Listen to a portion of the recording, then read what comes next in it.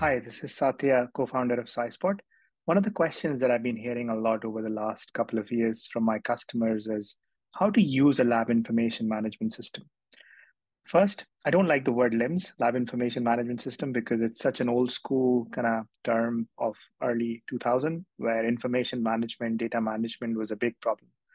In the age of generative AI and large language models, I think we've kind of moved away from uh, just data management.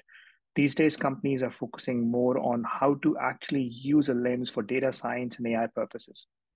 So I thought I'll do a quick video um, under five minutes just to like share some of the lessons I've learned um, over the last year and how the technology is changing the landscape of LIMS. So LIMS, as it's defined, uh, is a lab information management system that helps you connect disparate data, whether that's come from instruments, whether that comes from your unstructured notes, or it comes from your structured data for samples, inventory system. And ultimately, it helps you kind of connect your metadata with your data. And the goal is that uh, especially for biotech AI companies and data science companies, is to be able to make decisions faster, is to be able to connect your wet lab and your computational workflows together. So yeah, let's kind of dive deep into uh, what I'm hearing from a lot of biotech AI companies. I want to share like a few lessons and a few things that you can keep in mind as uh, you're thinking about implementing LIMS or if you're thinking about how to use uh, a modern lab information management system and also like how do you effectively utilize that system for the outcomes that you're looking for in your organization.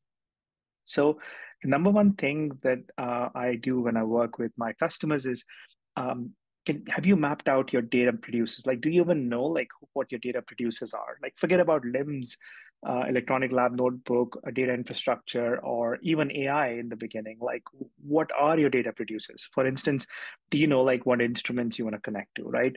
If you're using AWS or Azure infrastructure, do you have like any files that are coming from there? Like our computational folks um, storing some uh, data or metadata in S3 bucket or blob storage that you want to be able to um, connect with your wet lab workflows so your wet lab folks can access that metadata, whether that's experiment or samples uh, through graphical user interface. And then uh, there is always flat files, right? In biotech, you get like uh, data from CROs, uh, academia, or any partners or collaborators that you have. Uh, there's always going to be flat files coming through. You know, as much as you'd like to avoid them, it's just you'll still have some sort of flat files. And then um, also like if you have an in-house kind of system um, or you've bought an electronic lab notebook or you build something in-house, where are your unstructured data stored, you know? And then finally, like what do you classify as structured data? Do you have a data dictionary? For instance, one of the customer I was working with a few months ago and they were basically like figuring out what is their data dictionary? How does the data flow from uh, parent to child, from aliquots to derivatives, like from cell lines to proteins to peptides. You know, there's various kind of um, data model that you can think of as your company goes from Series A to like Series C, uh, especially biotech AI companies. So yeah, number one thing I recommend is map out your data producers before even thinking of LIMS and thinking of infrastructure and uh, in terms of how to use that data infrastructure. And then the second most important thing is you're kind of using LIMS or using any in-house uh, data systems as a wet lab scientist or as a computational person. Have you like really thought through your use cases? Um, so like a couple of use cases that I keep hearing is like, hey, I have this data swamp in in my legacy system, Benchling, where I can't really make decisions out of it. Or, hey, I have access to like the API, but it's really hard to make real-time sync with my instruments. So figure out what are your top five use cases. You know, if you know like real-time sync is really important for you, uh, having a standardized data model is important.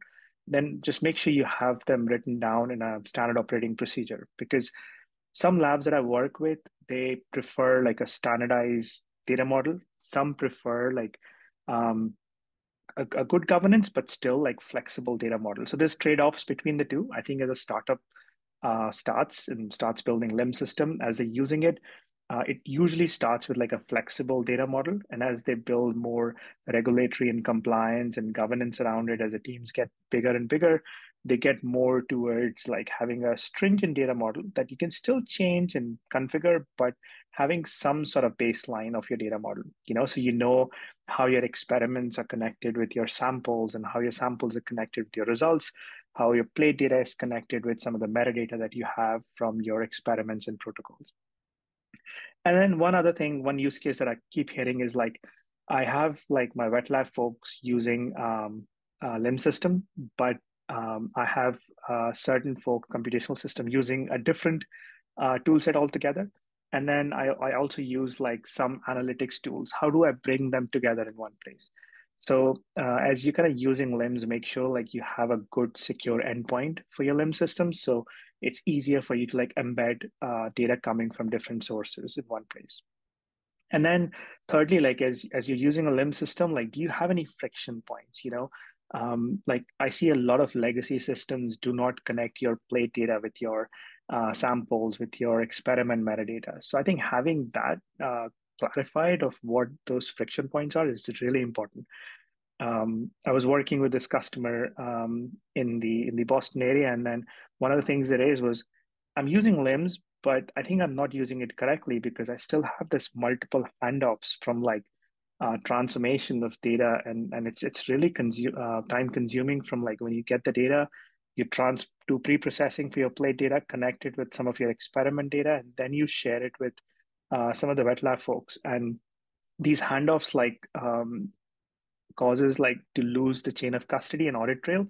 So I would say, like, as you use these LIM systems, make sure you have some sort of chain of custody or audit trail recorded somewhere. Otherwise, um, it can cause problems as you're kind of growing and you know getting more towards the regulatory side of things long term. The other one is like uh, that I keep hearing is pushing data to Benchling is is a huge friction. So um, a lot of our customers, SciSpot customers, uh, we've kind of worked with them to help. How do you push data uh, into Benchling or any other system that they might have? Uh, so uh, whatever LIMS you end up with, make sure like it has a good connection with your electronic lab notebook or um, any kind of other systems that you're using. Because the worst thing you can do is like having two systems built in that don't talk to each other, or at least don't share like some sort of standard procedure to say what is the source of truth. So you could have, let's say, inventory in one system as a source of truth. You can still push that inventory to another system where you're storing your experiment, your you're tracking your protocol deviations, but make sure there's a good connection between the two. And then lastly, like as you're using LIMS, the kind of question I ask is what is the outcome that you want? So a lot of SciSpot customers, as they uh, start configuring SciSpot as a lab in modern lab information management system, um, the number one question is like, if your friction goes away and you know your use cases, what are the outcomes that you want? Like ultimately um, the main outcome or one of the most prominent outcomes that i keep hearing is hey i want to share data amongst different folks and have those handshakes done without losing the chain of custody and unfortunately a lot of old school lim systems uh, old school electronic lab notebook systems um, i don't want to name them but you know what those are and what they like kind of limit is um, they don't let you um, get data out easily or push data easily or pull data easily because they force you to become the source of truth. And in my opinion, in 2024, if you're building a modern LIMS um, or configuring a modern LIMS such as SciSpot, our philosophy, or at least uh, the philosophy of our team, is that we don't push the teams to make um, LIMS or SciSpot or any other tool like as their um, single one-stop shop, right? We don't want to create another um, data swamp, if you will, or another like um, one source of truth, if you will. I think as companies evolve, uh, what I've noticed is the most, the biggest problem is having like chain of custody and handshakes done. So getting data in and getting data out is more important than forcing people to like have everything inside one system, right? That's not feasible because ultimately you will have computational workflows uh, where people want to use data pipelines, uh, which could be in AWS. And you want to have a good graphical user interface for wet lab folks so they can easily like use that GUI to be able to uh, connect some of their metadata and data and share it back with computational folks. So in my opinion, as you use LIMS make sure like whatever LIMS you adopt, whether that's SciSpot or not, um, the biggest thing is like um, fortunately, if you use SciSpot, it's easier to get the data out and also uh, pull data. There's a secure API on docs.scispot.com. But if you use a legacy LIM system, old school LIM system, make sure you like in your proof of concept test out how easy it is to get the data out because a lot of companies uh, especially biotech ai companies want to build their own um, intellectual property uh, and you want to make sure that if you have databricks snowflake or some sort of data repository data lake that you want to build for long term for your ip there is a really easy way to get data out of lim system and that's what kind of SciSpot makes it really easier for the customers.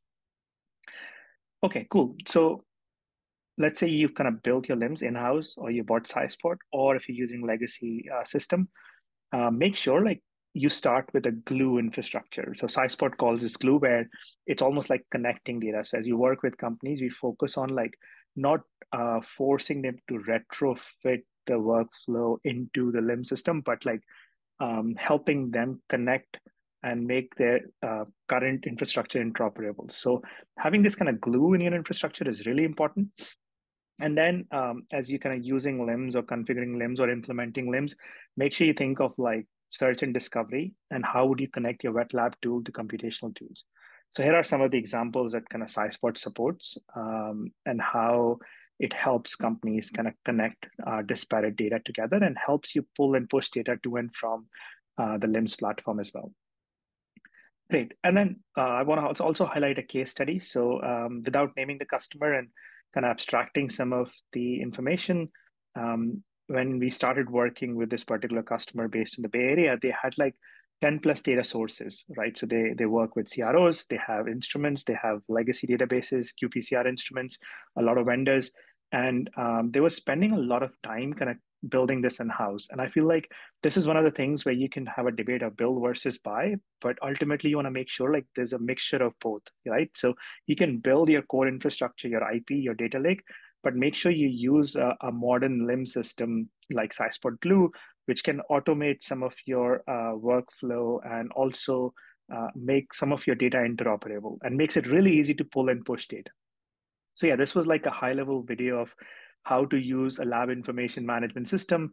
Um, make sure you like think of long term because you want to make sure that your electronic lab notebook and lab information management systems are modern enough so they become catalyst into your LLM infrastructure. So as you build your own uh, RAG pipelines or large language models, make sure um, there's a very secure API that can connect to your downstream uh, workflow. And as you start using these LIM systems, also make sure you have a really good uh, data model and you understand the trade-offs between like really stringent data model versus flexible data model. But yeah, if you have any questions, want to talk more, uh, you can email me at satya at scispot.io. Uh, but thank you for watching.